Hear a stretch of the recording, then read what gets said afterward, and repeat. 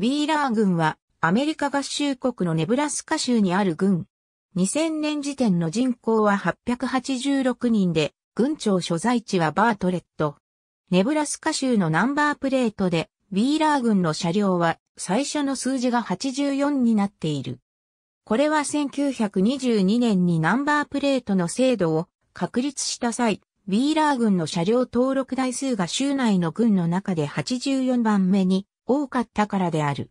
ウィーラー軍は1877年に組織され、ダニエル・ H・ ウィーラー少佐にちなんで名付けられた。アメリカ合衆国国勢調査局によると、この軍は総面積1491平方キロメートルである。このうち1490平方キロメートルが陸地で、1平方キロメートルが川や湖などの水地域である。総面積のうちの0.07%が水地域となっている。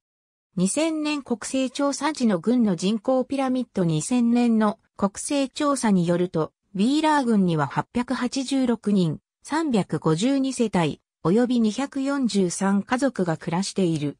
人口密度は1平方キロメートルで、0平方キロメートルの平均的な密度に561件の住居が建っている。この軍の人種の構成は、白人99.10%、先住民0.23%、黒人、アジア系、太平洋諸島系はおらず、その他の人種0.56%、及び根血0.11%で0.56%の人々がヒスパニック、またはラテン系である。軍の住民の47.4%がドイツ系、9.4%がアイルランド系、7.8%がイングランド系、7.2%がスウェーデン系、7.0%がアメリカ系移民の子孫である。ウィーラー郡に住む352世帯のうち31.80%は18歳未満の子供と暮らしており、62.80%は夫婦で生活している。3.10%は未婚の女性が世帯主であり、30.70%は家族以外の住人と同居している。29.00%は独居で、全世帯の14.80%は65歳以上の独居老人世帯である。1世帯あたりの平均人数は2.52人であり、家庭の場合は3.10人である。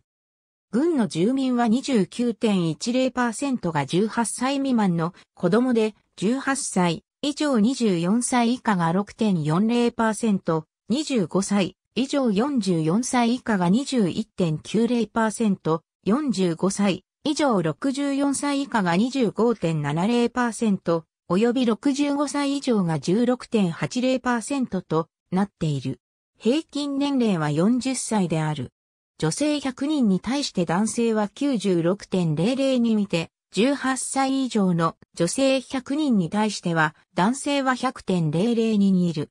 軍の世帯ごとの平均収入は26,771米ドルで、家族ごとでは33,750米ドルである。男性の21,563米ドルに対して、女性は17,083米ドルの平均的な収入がある。この軍の一人当たりの収入は14,355米ドルである。総人口の20.90%、家族の15.40%は貧困線以下である。